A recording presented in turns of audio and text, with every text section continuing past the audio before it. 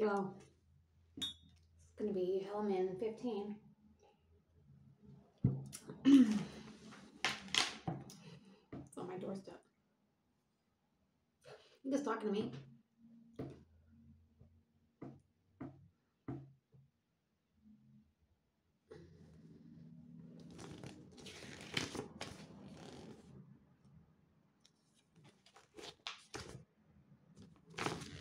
You can read that. Is it backwards? anyway, Helaman 15. Now, beloved brethren,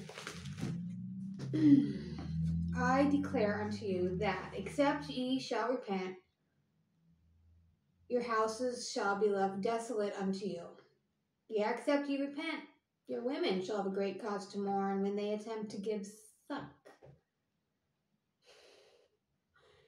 Ye shall attempt to flee, and there will be no place for refuge. Yeah, woe unto them that are with child. They are heavy and they cannot flee. They shall be trodden down and left to perish. Yeah, woe to the people who are called the people of Nephi, except they sh- except they shall repent when they see the signs and wonders which shall be shown unto them. Behold, uh, they have been a chosen people of the Lord. Yeah, the people of Nephi hath he loved. He has also chastened. Yeah, in the days of their iniquities he chastened them because he loved them.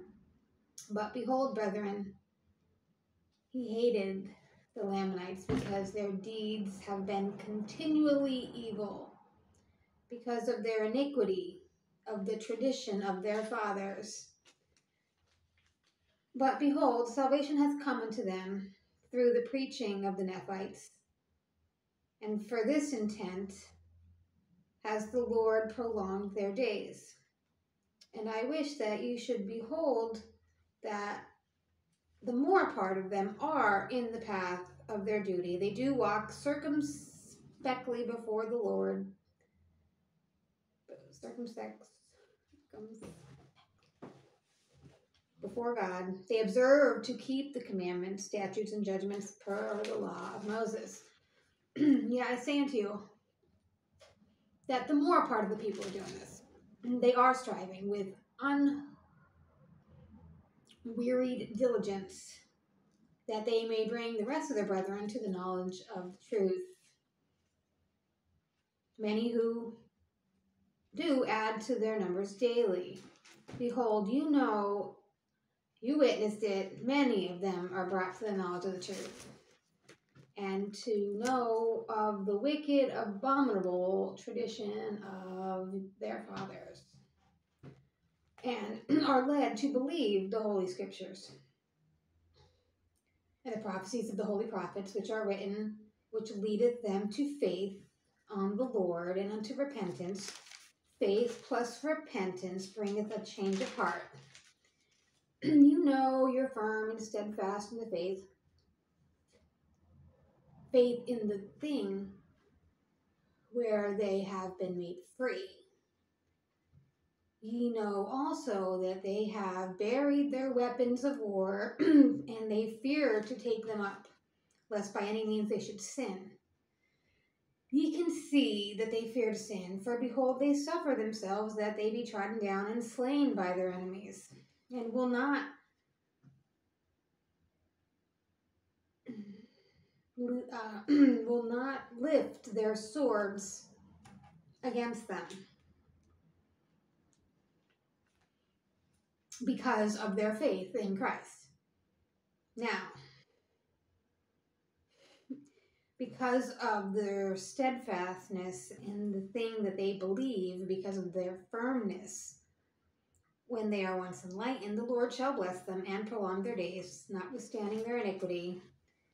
Yet, even if they dwindle in unbelief, the Lord shall prolong their days until the time comes when uh, which was spoken about by our fathers and the prophet Zenos and many other prophets concerning the restoration of our brethren, the Lamanites.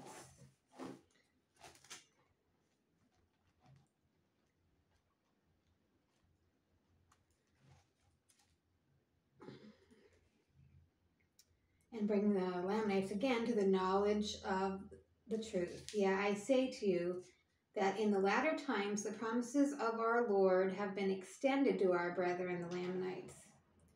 Many afflictions which they shall have, they shall be driven to and fro upon the face of the earth, hunted, smitten, scattered. No place for refuge. The Lord shall be merciful to them, according to the prophecy that they shall be brought to the knowledge of their Redeemer, who is the great and true shepherd, and be numbered among his sheep. Therefore, it shall be better for them than for you, except you repent.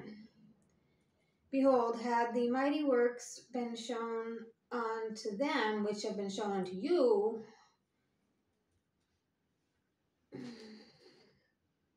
yeah, unto them who have dwindled in unbelief because of the tradition of their fathers. You can see that they would never have again dwindled in unbelief. Therefore, saith the Lord, I will not utterly destroy them, but I will cause that in the day of my wisdom they shall return again to me, saith the Lord. Now, behold, concerning the people of the Nephites, if they will not repent and observe to do my will, I will utterly destroy them, saith the Lord, because of their unbelief, notwithstanding the many, many mighty works I have done. Surely, as the Lord liveth, shall these things be, saith the Lord.